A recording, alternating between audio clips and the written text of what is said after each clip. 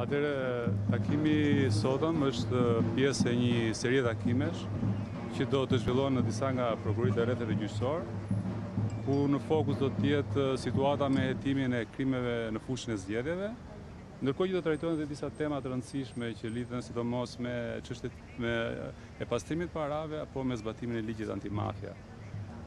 Ashtu siç edhe ju keni qenë në korrent të disa zhvillimeve, qëndrime që ka mbajtur prokurori i përgjithshëm në lidhje me hetimin e krimeve zgjedhore, është kërkuar vazhdimisht nga prokuroritë e rretheve gjyqësore që të kryejnë hetime të shpejta, të plota, cilësore dhe të kemi rezultate sa më të shpejta në drejtim të këtyre këtyre proceseve dhe e rëndësishme është që hetimet të shoqërohen gjithashtu me një proces transparence në mënyrë që publiku të jetë i qartë dhe le të themi të ketë informacionin e plotë mbi atë se çfarë ka bërë prokuroria.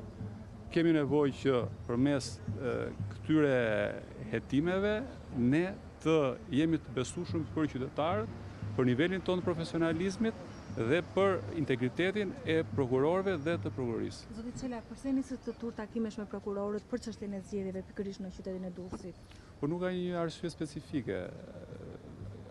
Çështja e zgjedhjeve është një çështje që prek pothuaj disa shumë prokurori të rretheve gjyqësore, por janë çështje të cilat kanë një impakt mbi gjithë vendin, mbi ngjarje të caktuara, mbi çështje të caktuara që lidhen me Shqipërinë. Ndaj, rezultati i çdo hetimi, rezultati i çdo procedimi është i rëndësishëm. Rëndësi ka që hetimet të jenë të plota, të jenë gjithëpërfshirëse, të kryhen në kohën e duhur dhe rezultatet t'i përcillen publikut për të siguruar transparencën, për të cilën besoj se ka shumë nevojë. Ndërkohë krimi ka goditur në qytetin e Vlorës e më pas dhe në qytetin e Elbasanit, në të cilët ju keni kryer dhe një analizë dhe keni shprehur shqetësimin tuaj sa i takon krimit në këtë qytet.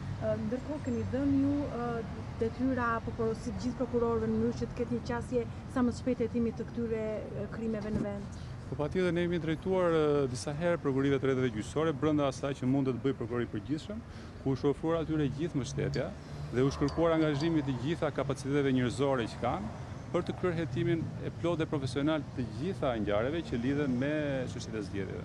Nga që ju gjatë raportit për vitin e kaluar për kriminalitetin, i keni propozuar kuvendit shtimin e një neni në kodin penal që ka të bëjë me pasurimin e paligjshëm.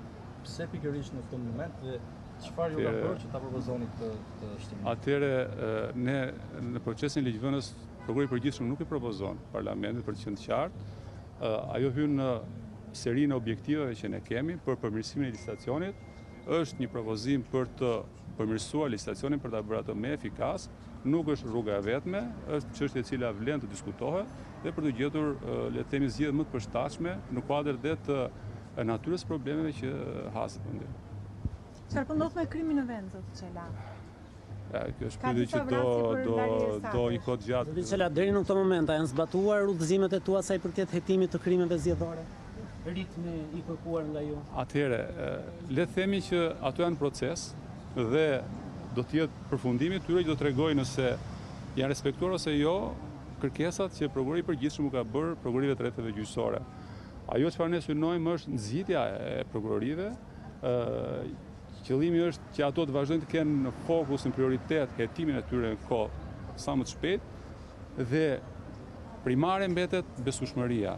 Ju duhet të besoni që prokuroria po bën maksimumin e vet në këtë drejtim. Kjo është thelbësore. A vazhdoni të keni të njëjtin qëndrim për deklaratat që keni dhënë mbi situatën e kriminalitetit në Elbasan? Po tani po jemi për krimet zgjedhore, apo do të diskutojmë për të gjithë kriminalitetin, është çike vështirë ta trajtojmë sot të gjithë të gjitha temat, unë mendoj që ë ka nevojë që prokuroria mos të humbi fokusin mbi asnjë çështje të rëndësishme.